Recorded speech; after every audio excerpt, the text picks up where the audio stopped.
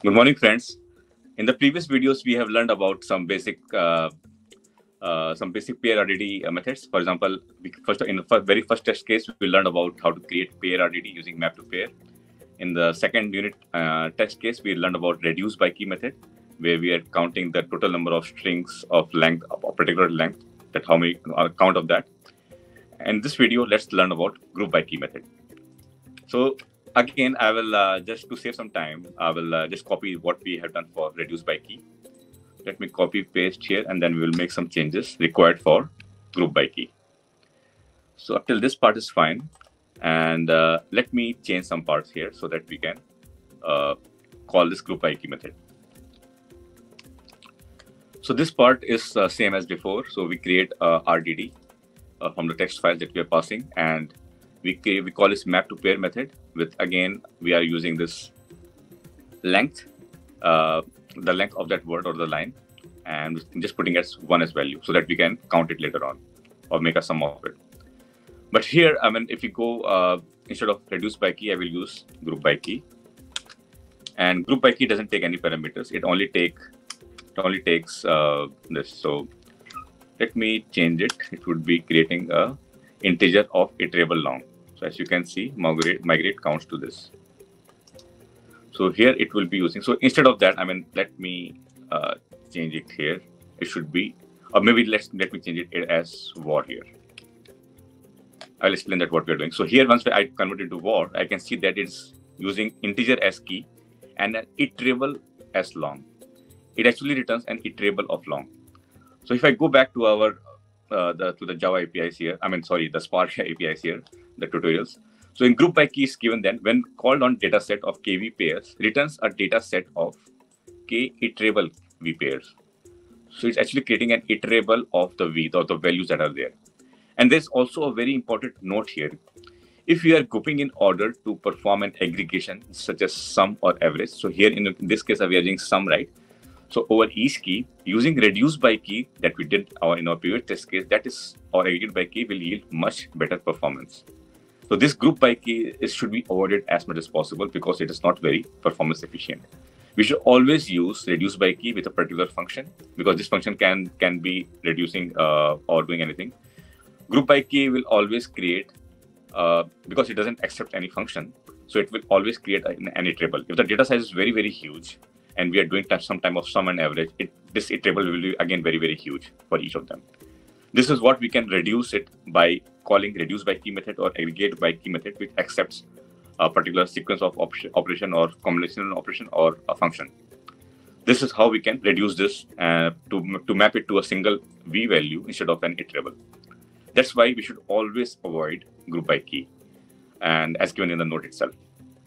And uh, the only parameter that we can pass here is, uh, which is also optional for all the other uh, reduced by key and read by key, is the number of partitions.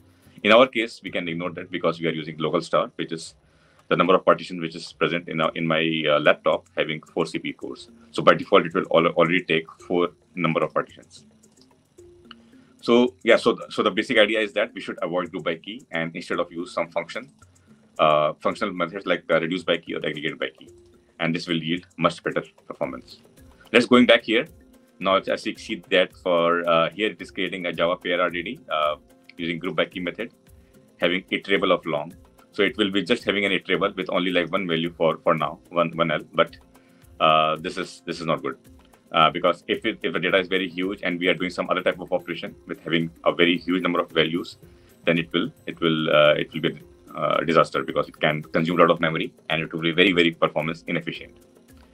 Okay, so being said that, uh, we already got this group by key because our data size is, is, is small. So group by key uh, should work fine here, although it is not performance efficient, but it, it will work here because our data size is very, very less. I mean, we are only having 1000 uh, words and around 22,000 something words there in the other one.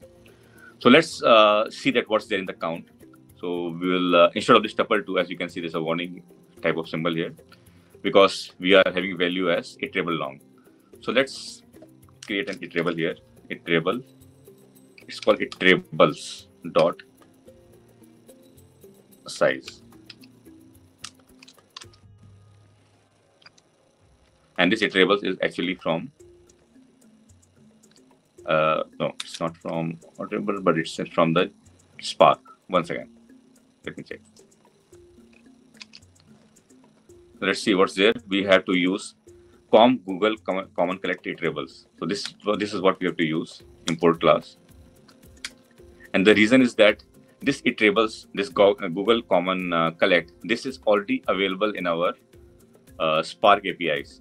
So this is a part is coming from Spark API. It's I haven't downloaded anything from Google API itself. It's inside embedded inside our Spark API. Because the value is iterable long, that's why we have to use this to have this count. So now let's run this test case and see whether our LFN is correct. So I assume that this would be working same as reduce by key. But before that, let's revise what we have uh, done so far. So up till this part is exactly same as our previous test case. Uh, we are creating a pair RDD using this uh, files contents from the, from the RDD. And then we are calling, calling this group by key method. In this group by key method, we are having length as our key and iterable long as the value. So iterable long would be like one. And uh, then we are taking the first five words from each of the Java pair RDD that we created and we are printing the how many strings of a particular length are there. But the value here is iterables.size. We have to use this uh, this wrap over, over this tuple 2, which is our iterable long. So let's run this. As mentioned, that group by key should be avoided as much as possible. And instead of that, we should use reduce by key or aggregate by key. So this will take some time. As you can see that even for 1000 words, it's taking a little bit more time. And for the second word list.gz, uh, which is having thousands of files, it will take even more time. See, it's quite slow. I can, uh, if you run for, we can do some benchmarking tests that uh, for reduce by key, and with this, you will find that uh, it's, such, it's, uh, it's not as fast as reduce by key. Anyway, uh, the results are same as reduce by key. We can see that uh, in the first file, 1000 words, we have nine words which, which are empty. That's why it's correct. And similarly, there are 244 words which are having length of four. Similarly for the second file. So guys, this was about the group by key method.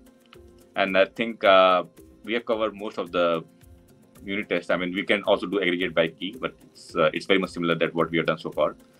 So I will stop this uh, discussion about uh, pair RDDs. Yeah, but yeah, okay. One thing is important that which I missed is because I mentioned that we have got this uh, pair RDD where we can have duplicate keys. So this is the difference between the Java map and the Java pair RDD, which is in Spark, that the keys can be duplicated. So this is a very good method uh, we, where we can make a unique count of this. So let's discuss about this in our next video, how to create unique uh, keys from the pair RDD. So see you all in the next video.